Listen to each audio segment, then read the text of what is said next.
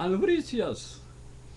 Encontré un par de videos eh, con entrevistas que realizó el director de Radio Arcoiris, el periodista Ciro Vargas Mellado, al periodista Humberto Sumarán Araya.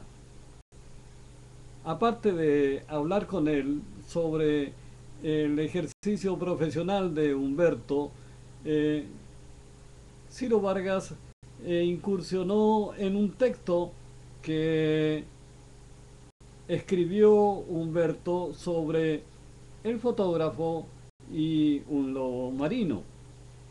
Una materia interesante que deseo compartir con ustedes.